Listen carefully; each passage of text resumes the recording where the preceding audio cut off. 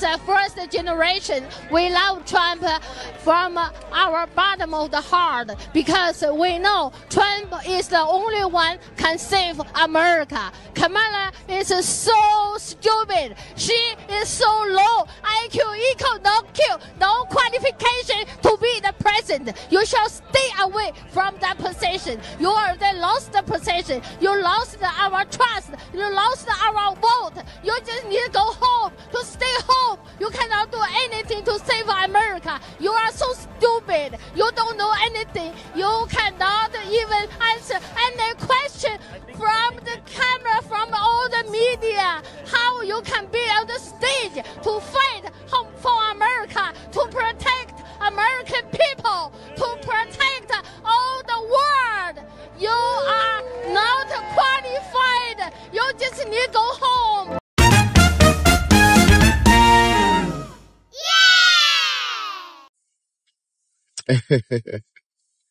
well, there you go.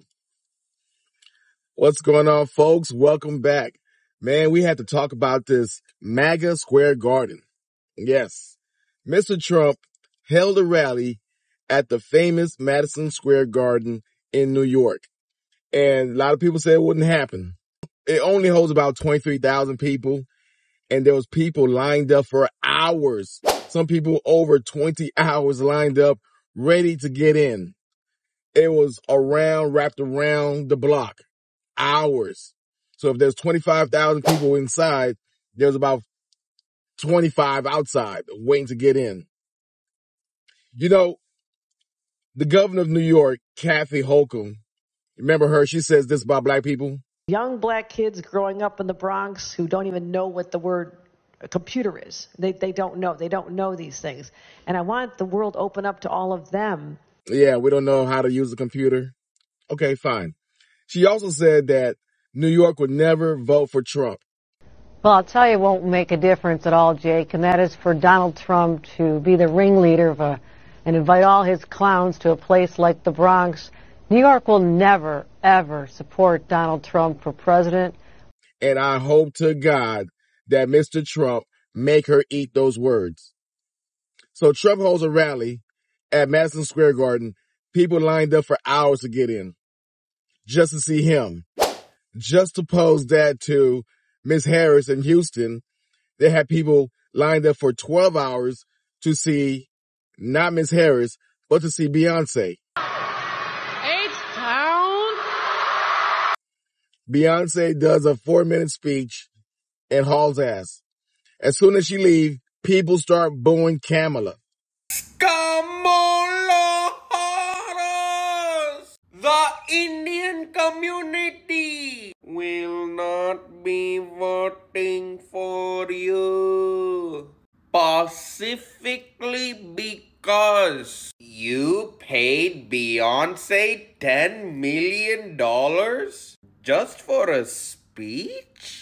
Kamala, you had the opportunity to hire one of the greatest Indian dancers of all time. And I only charge 10 rupees. Kamala, how dare you waste so much money and you couldn't even get Beyonce to sing Crazy in Love?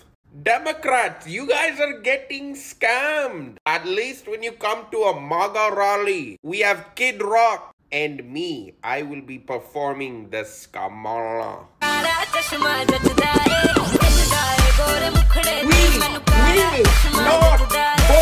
But in New York, these people lined up for over 20 hours to see Trump.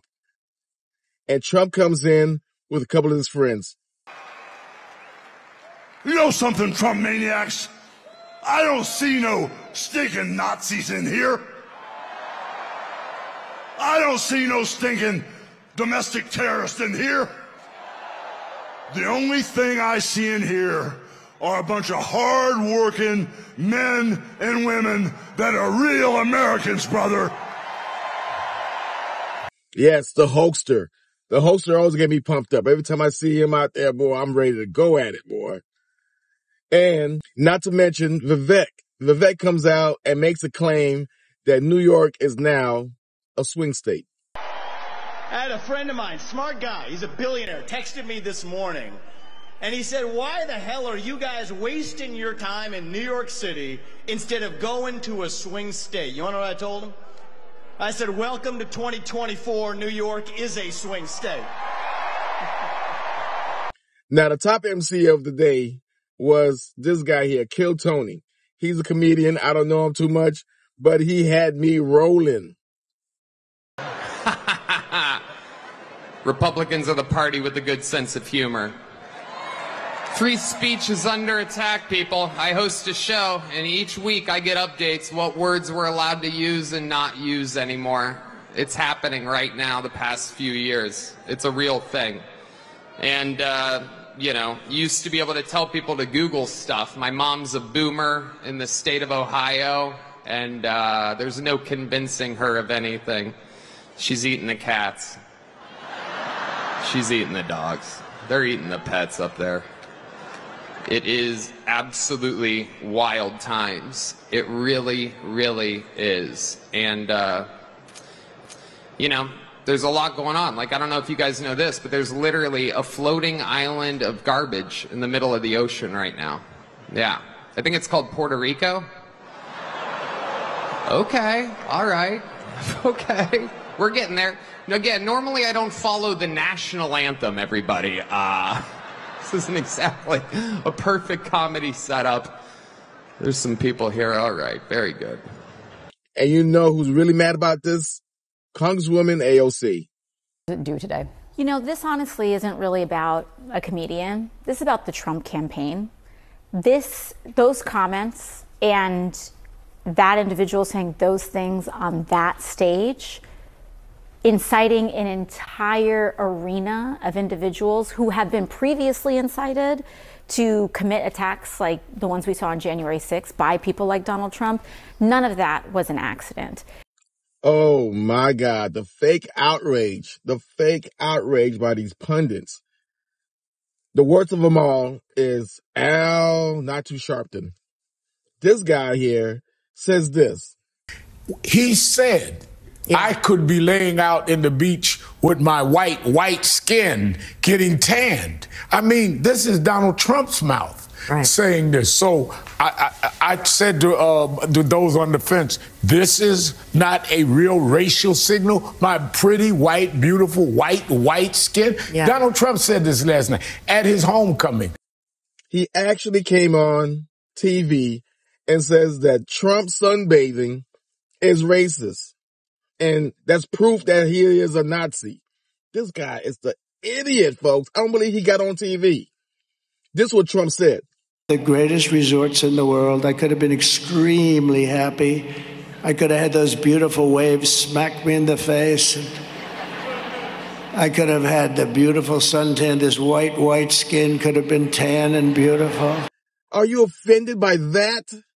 Oh my God. Every liberal on Monday the day after MAGA Square Garden are having a shit fit. They had this already planned already. For a week or so, they kept saying it's a Nazi rally. It's a Nazi rally. It's a Nazi rally.